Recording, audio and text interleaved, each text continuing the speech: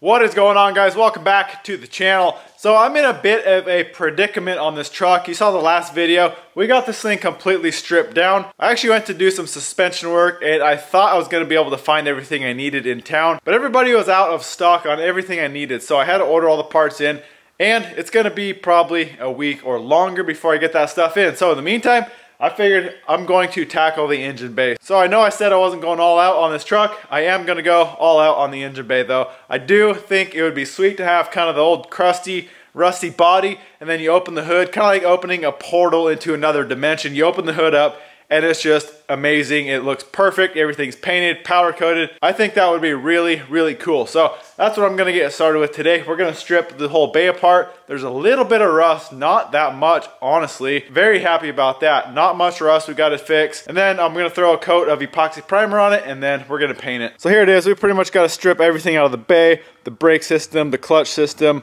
um, all the wiring. I'm gonna pull the whole front end off too, the grill, headlights, all that stuff get this harness out of here, basically strip the entire bay. The only rust is where the battery was and it's not even that bad. It's honestly I'm so very surprised. I figured it was gonna be a lot worse. So we're gonna wire wheel that do what we can to get that taken care of and then we're going to go through and paint it. Also, some of these holes, like over here, there's a lot of holes in the inner fenders. I might weld some of those up. I don't think I'll need a lot of them. Um, I'll probably leave some, like this one is for the coil. I'll probably leave some of that, but some of those holes I'm not going to use. I'm going to weld them up, get those smooth. I want this bay looking nice, so we're going to go through a couple extra steps and see if we can make this thing look sweet. So let's get to work stripping this thing down and get it ready for paint.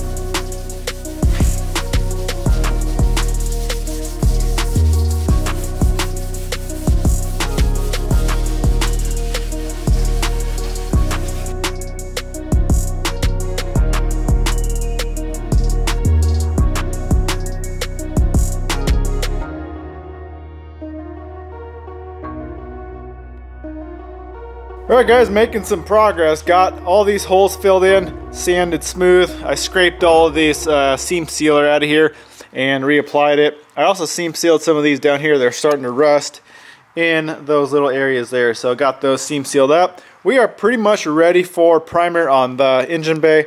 I'm to hit the bottom of the hood as well. And I am going to try this Sandblaster pressure washer deal on paint. I've never tried it on paint. I've only tried it on aluminum. I don't think it'll take the paint off, but I do think it'll kind of etch into the rust and into the paint, kind of give it a scuff. I don't know. I don't really know what to expect. So I just want to try it out and see what it does. So let's go at it with that. And then, like I said, I want to get the bottom of this hood painted as well.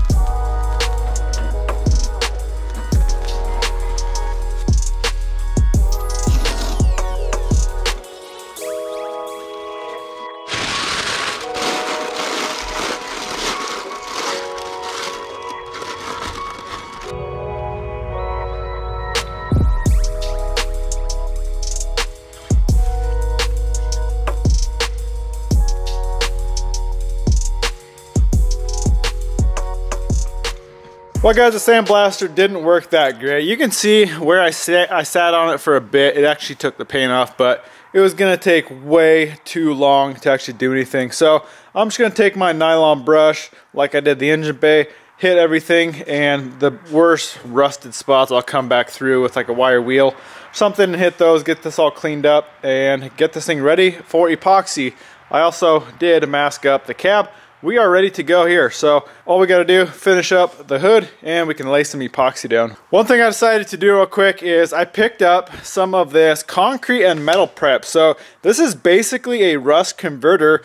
Um, I don't know if it says anything. Yeah, right here. So directions for rusted. If you want to remove the rust, it says to brush it on full strength and let it dry overnight and then rinse it off. Or for treating metal for phosphatizing it. Basically, it converts it into something stable enough to paint. You just dilute it 3 to 1, spray it on, and then wash it off after 15 minutes. So what I'm going to do, I'm going to mix some of this up, and I'm just going to hit these areas, maybe not that, but some of these darker areas, and up under here. I wasn't able to get up in there. And then along the back here, and then in the bay, there's right back here, I want to treat that area and I'm going to treat that area as well. Yeah, I should have done it before seam sealer, but that's not going to be an issue. Seam sealer is going to be just fine. So I just want to make sure that we don't have any rust popping back through. So let's do that and then brake booster. I'm going to paint this as well. I can throw this in the sandblaster so I'm going to mask off that mask off the back here. I'm going to give that a sandblast and I'm going to paint this at the same time.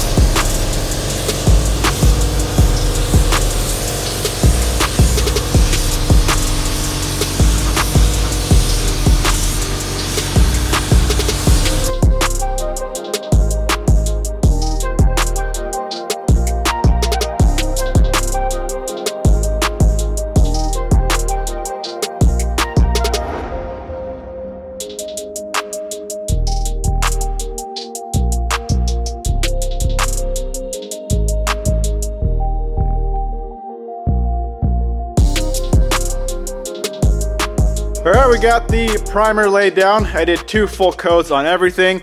Guys, I gotta say, I am done using Tamco. I have had so many issues with this stuff. I know it's probably hard to see on the camera. You can see it right here.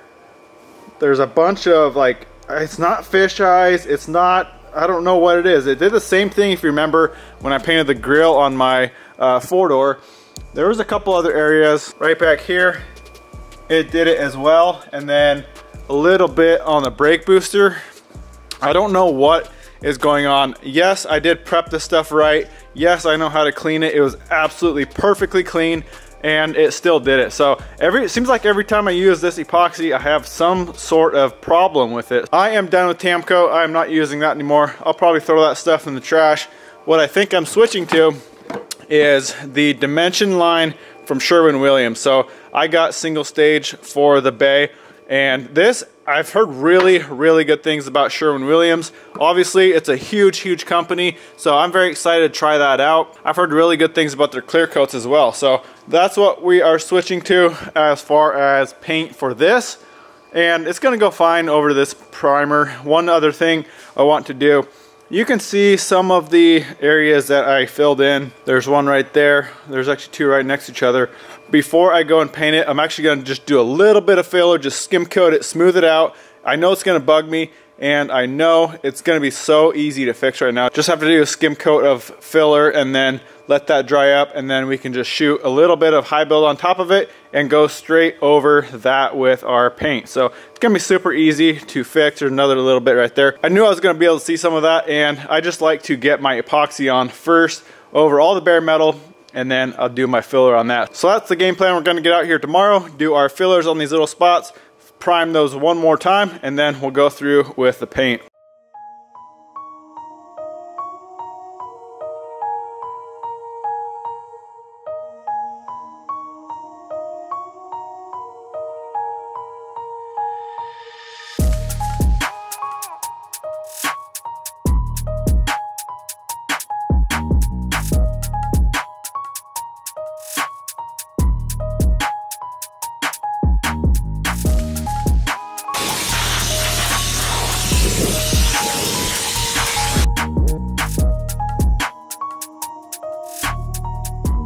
Alright guys, we are to take a break for a second and talk about today's sponsor, Simply Carbon Fiber. So they sent over a couple things for me to try out. They sent this carbon fiber wallet. Now this is 100% genuine carbon fiber. It's lightweight, it's small, it's compact. You could fit everything you need in this little wallet. So I got, what, six cards in here right now. I think there's four or five bills.